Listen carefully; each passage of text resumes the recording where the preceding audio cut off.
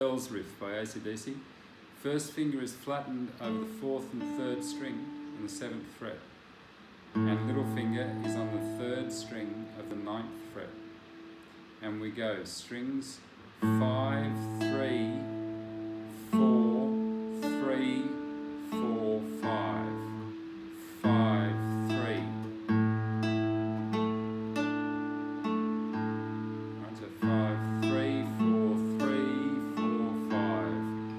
Then back to the fifth, three, four, five. Back to the seventh, three,